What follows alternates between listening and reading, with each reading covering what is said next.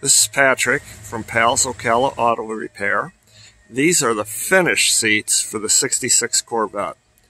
Sloan Morton from Morton Custom Interiors did these. Can you tell us a little bit about it, Sloan? These are your standard R&R covers, uh, that ready-made covers from a uh, manufacturer. And I just installed the covers. I didn't make them. But I also do custom fit uh, work. I can make them original. I can make them custom, however you like them and it just varies and uh, in prices and the seats and uh, we do complete custom interiors as well as boats and motorcycles.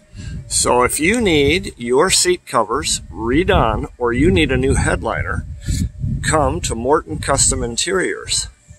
This is Patrick from Pals Ocala Auto Repair. See you soon.